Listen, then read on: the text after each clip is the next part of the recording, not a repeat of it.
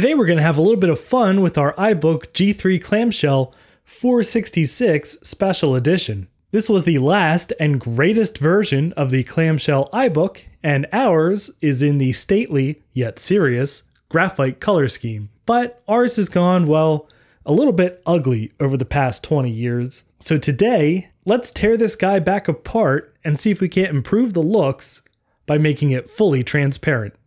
So stay tuned.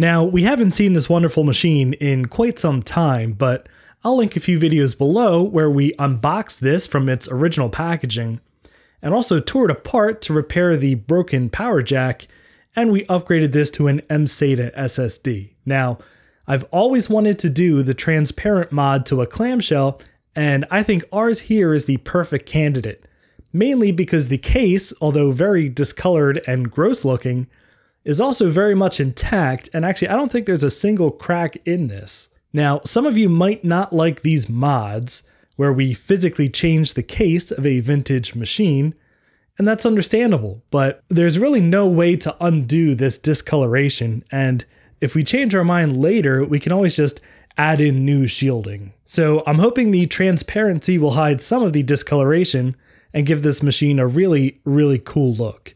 So Let's tear this thing open and rip out some metal.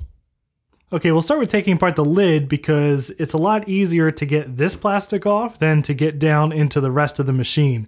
So this will give us a good look at how this transparent mod is going to turn out uh, in the least amount of time. So it's just a couple screws. You've got two Torx T8 screws on the front two more Torx T8 screws on the back here.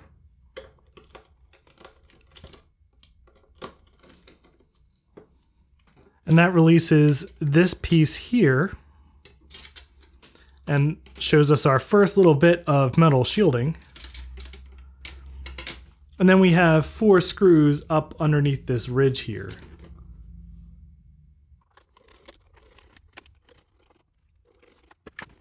And then for the really fun part, you have to get in between these two pieces of case here with a plastic spudger to pry them apart.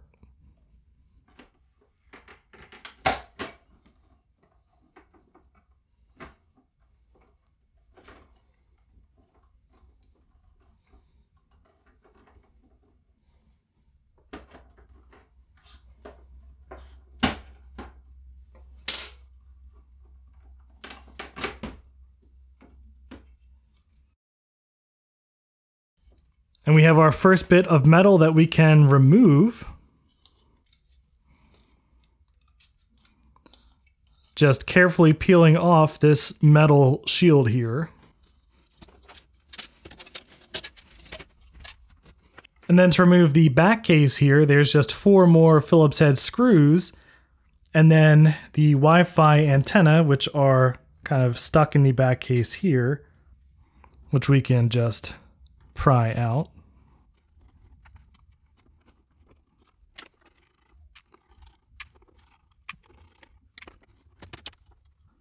And there's also a backlight wire which is run through a little plastic piece which is stuck to the shielding on the back here.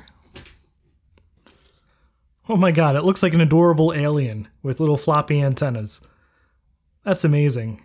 Maybe I should just leave it like this and just walk into Starbucks with this crazy alien looking laptop. So while I have the back off like this, I just wanted to point out something that I think is pretty interesting while the whole back of the case is protected with this metal that's completely opaque, the Apple logo is actually cut out and then just covered over with a sticker. So it seems like for a long time into production, probably Apple wanted the logo on the back of the machine to glow, but at some point after they had finalized this lid, they decided to cover over that so the light wouldn't shine through.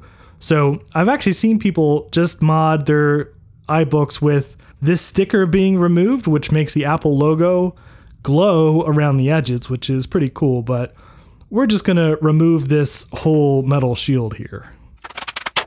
And you can see here on the metal shield, this Apple logo uh, the metal stops, and then that's just a sticker covering over this pre-cut out section. So that's pretty neat.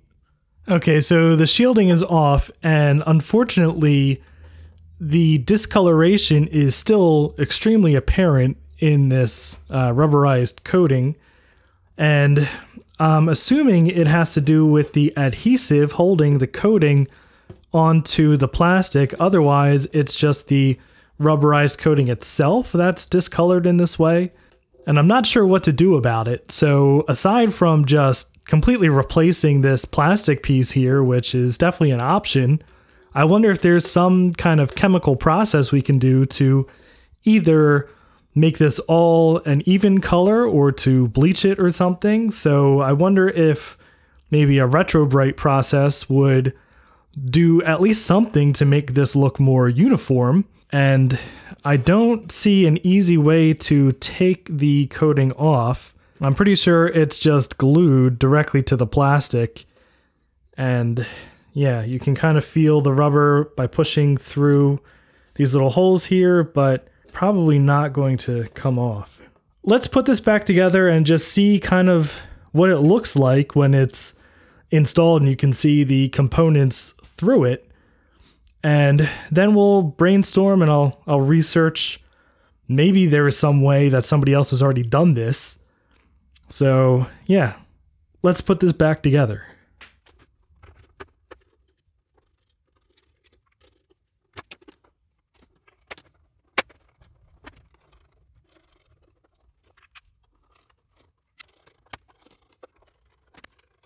Okay, well, it definitely looks pretty cool. It's not as transparent as I was hoping it would be, and I wonder if that's just because this case is discolored and scratched, and it's not just this rubber part, which unfortunately isn't really transparent at all. I do like this clear aesthetic, and uh, it definitely looks cool, especially on the front of the machine. And I definitely think it'll look cool when we take the shielding off of the top case here but I am concerned what it's going to look like on the bottom here. I have seen pictures of people who have done this mod before, and it's quite transparent on the bottom, and ours, I think, because of this discoloration with the adhesive or the rubber or something, it's not going to be very see-through. It's going to look about like what the front looks like right here. So I'm going to do some research on it, see if I can think of something to do, or I really don't want to remove this coating. So unfortunately, I could not find a lot of information about dealing with this discoloration online, except for one guy who had it and just painted this back to its original color. And the consensus on Discord was that this thing is just done. So in the name of science, I put this outside in a retrobrite solution of hydrogen peroxide and water, and it did not have any effect.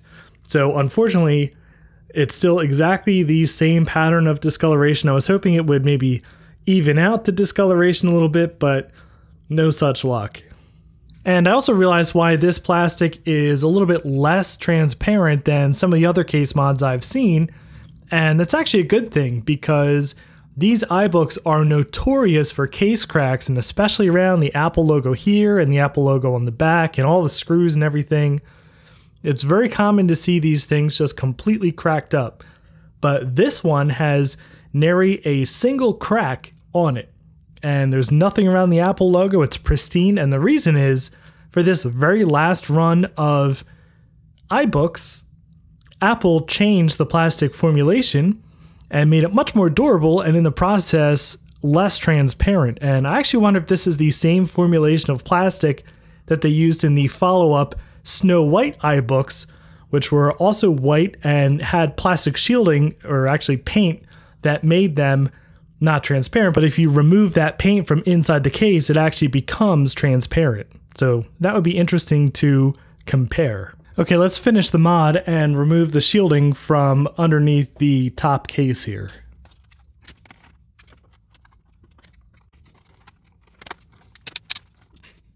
Okay, so now we just have to be careful around the power button here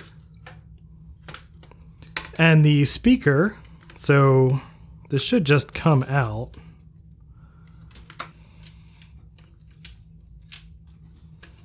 And then I have read that the speaker is kind of plastic welded into place, and it does look like that's the case. So I wonder if I can cut this shielding a bit. And then I'm also, I think, going to cut around the trackpad to just give that a little bit of a buffer on the underside.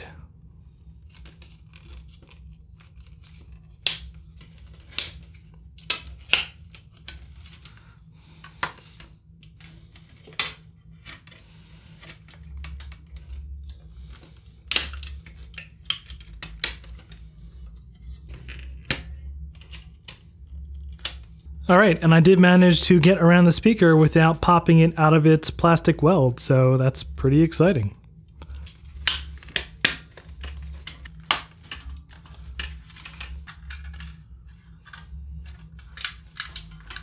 All right, there we go. We have officially de-shielded the upper palm rest area.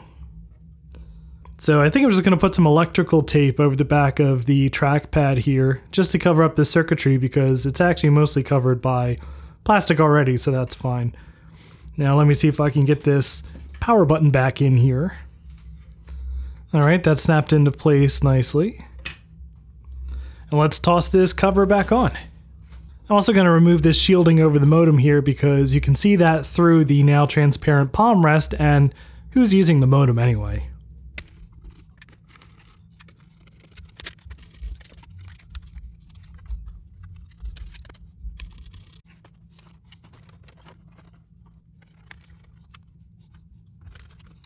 Okay, so we've got the machine back together, and I have to admit, it's a lot more of a subtle look than I had anticipated. I mean, you can definitely see stuff through the casing, and I think it does look very cool, but it's not as much of a transparent effect as I guess the older models would have been, which is generally, I guess, what we've seen online. But I kind of like it, honestly for the way I have this machine displayed in my house, which is open like this, straightforward, it's definitely noticeable around the screen with the subtle look of the metal brackets and the PCB behind them underneath the case, and I think that looks really cool. And of course, if I do ever change my mind, it is a totally reversible mod, and probably I'd wind up getting a new back case for the screen anyway because it's all discolored and terrible. And it's not like I ever intended to keep this machine stock anyway. There are a couple of other much more intense mods that I've wanted to do to an iBook clamshell for probably the past 15 years since back in the days of old Apple Fritter. One of them involves this guy right here. This is the iBook G3 Icebook, the computer that came out as a direct replacement for this last clamshell machine, and I'm sure you can see quite a number of differences between the two machines, but one of the most important is this screen. This is a 1024 by 768 12 inch screen, which is much more livable than this 800 by 600 12 inch screen that the iBook is stuck with. And this screen is technically compatible with this machine. And this specific machine, the 466 and 366 special edition, because these have 8 megabytes of VRAM as compared to only 4 megabytes in all of the previous clamshells. So this machine can support 1024 by 768. Now, it's a little bit of a chore to get this screen into this machine because aside from it not quite lining up with the brackets and you have to kind of finagle it maybe with some hot glue or drilling some new holes in the bracket here. You need a special cable to go from this display's connector to the iBooks connector, and that cable only came with about 12% of the clamshells that were sold, only the ones that had LG screens. And unfortunately, the screen in this one is Samsung, so it has the wrong connector. So we're either going to have to build our own cable, or more likely, we're just going to have to solder the connectors from the cable onto the connector on the LCD itself, directly onto the pads. And then with a little bit of open firmware hacking, then we can have a, a extremely livable 1024 by 768 on this clamshell iBook, which is basically the absolute bare minimum required to have any kind of reasonable computing experience today. Now, that's not the last mod that I want to do to this machine. So we'll just slide this guy off to the side. In this box is a package all the way from Australia. And this is actually something I am extremely excited about because this is a new old stock PowerPC G4 7410 rated at 500 megahertz and it already has a ball grid array connected to the pins, which means that in order to install this, all we really have to do is use a heat gun to desolder the G3 processor from the clamshell iBook and use the same heat gun to resolder this guy. And it's a drop in pin compatible replacement. And not only that, but I have seen someone on the, I think, Vintage Macintosh Enthusiasts Facebook group and she had already performed this same mod using this processor from this same Australian seller. And this only cost 30 Australian dollars, which is pretty inexpensive, although shipping was a kind of a beast, but here it is. And I have never ever tried to do something like this, but I think we're going to give it a shot and see if we can't get into the G4 iBook clamshell club with the likes of Greg Hrutkay from Hrutkay Mods. So if you enjoyed today's video, I'd appreciate a thumbs up, and if you'd like to see more Macintosh shenanigans, including these crazy upgrades to this iBook Clamshell G3, please subscribe down below, and I will see you in the next video. And a special thanks to Sorta Eclectic, Chris, and Spike, who are my highest tiered patrons, and all of my Patreon supporters for helping make this video possible.